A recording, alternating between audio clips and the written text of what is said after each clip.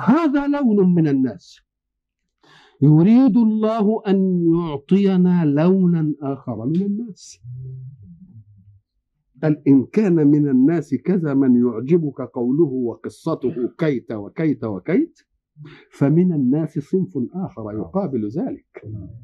من الناس من يشري نفسه ابتغاء مرضات هذا هو الصنف الإيه؟ المقابل. الله سبحانه وتعالى ساعات يستعمل كلمة يشري. يشري دي من يقول لك من الأفعال التي تستعمل في الشيء ومقابله. شرى يعني باع. ما تفتكرش شرى يعني اشترى. وتستعمل شرى بمعنى اشترى برضه. يبقى شرى دي اللي هي اللي مكونة من الشين ومن الر ومن الألف المرسومة إيه؟ يهدي معنى إيه؟ لها معنى اقرأ إن شئت في سورة يوسف قول الله سبحانه وتعالى وشروه بثمن بخس هو بيتكلم عن مين؟ عن من اشترى؟ ده هو هيقول وقال الذي اشتراه. يبقى شروه لمين؟ آه للي باعه وشروه بثمن إيه؟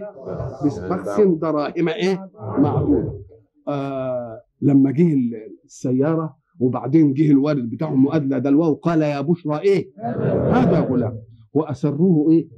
وكانوا فيه وشروه. يعني باعوه لأن هم اللي جابوه من الجيب. يبقى هم اللي باعوه. بدليل وقال الذي اشترى. يبقى شرى هنا بمعنى إيه؟ باع. وتأتي أيضا بمعنى اشترى. الشاعر العربي القديم مثلا عنترة يقول لك فخاض غمارها وشرى وباع. يبقى شرى بمعنى إيه هنا؟ اشترى بقى ما دام جاي شرى وإيه؟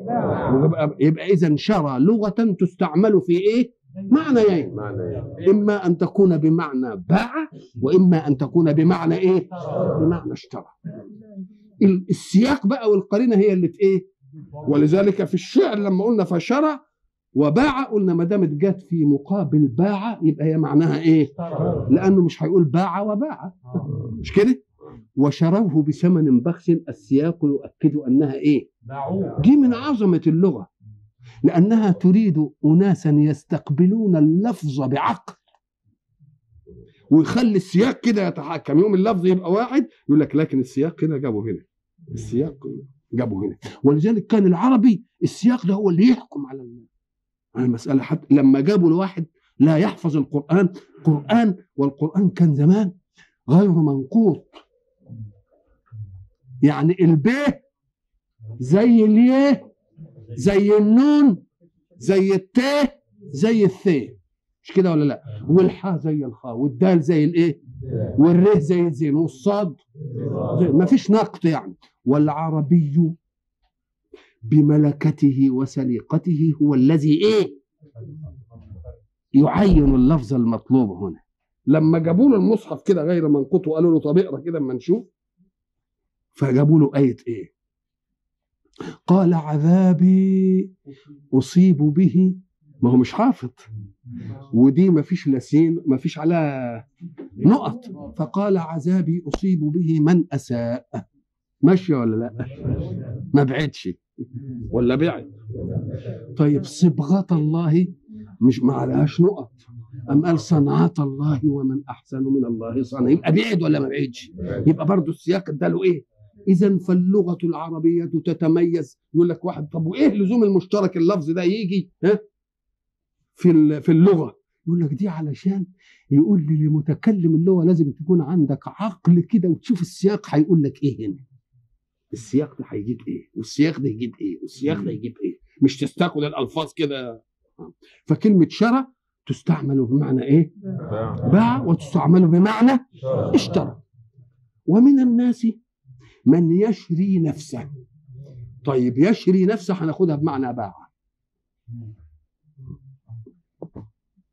يشري نفسه يعني إيه؟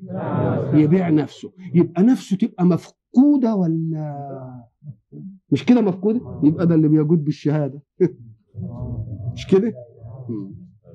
يبقى ده اللي بيجود بإيه؟ أو بكلمة المعروف كده وواحد يروح قتله.